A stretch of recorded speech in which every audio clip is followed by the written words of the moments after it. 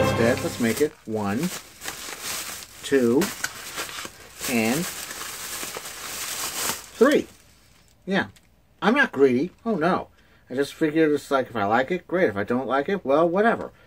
I mean, yeah. I mean, here's the thing. I mean, last week I saw the sign and it's like, it's back, y'all, on the fifth, and the sign was still up there. I mean, same sign, but whatever. And however, I was a little bit hesitant because I've been hearing horror stories about people getting beat up, killed, uh, body slammed, hardcore match, you name it, over this. It's a fucking chicken sandwich. What? Why is this chicken sandwich better than anything else? I mean, we're about to find out right now. But my point is, when I went there, I went in there to, I mean, get it to go because I don't feel like waiting like 45 minutes in the drive through.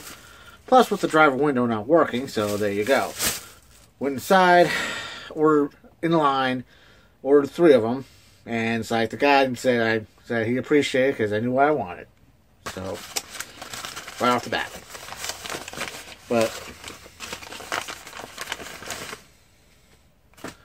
it's wrapped.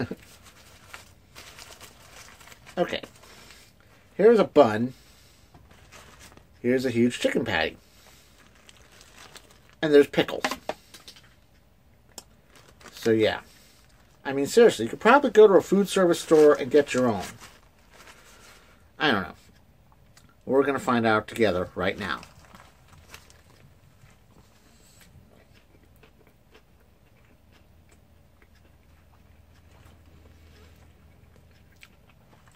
The pickles actually taste good. The bread's a little soggy. And the chicken patty itself, while it's actually meaty and crunchy, it's really nothing to write home about. I mean, what makes this better than what you get at like uh, Wendy's or Wendy's? Because I refuse to go to that other place that's like a castle, whatever. That place is fucking ghetto. But this one, it's not bad. I mean, it's not worth waiting 45 minutes at the drive through or 20 minutes inside. It's not worth killing some people over. And, well,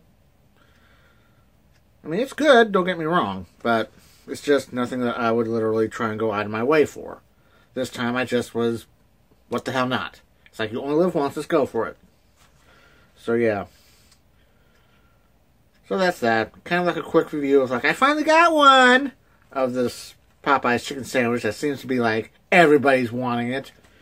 So, guess till next time, whatever it is, I'm Mr. Thanks watching. Comment box is open.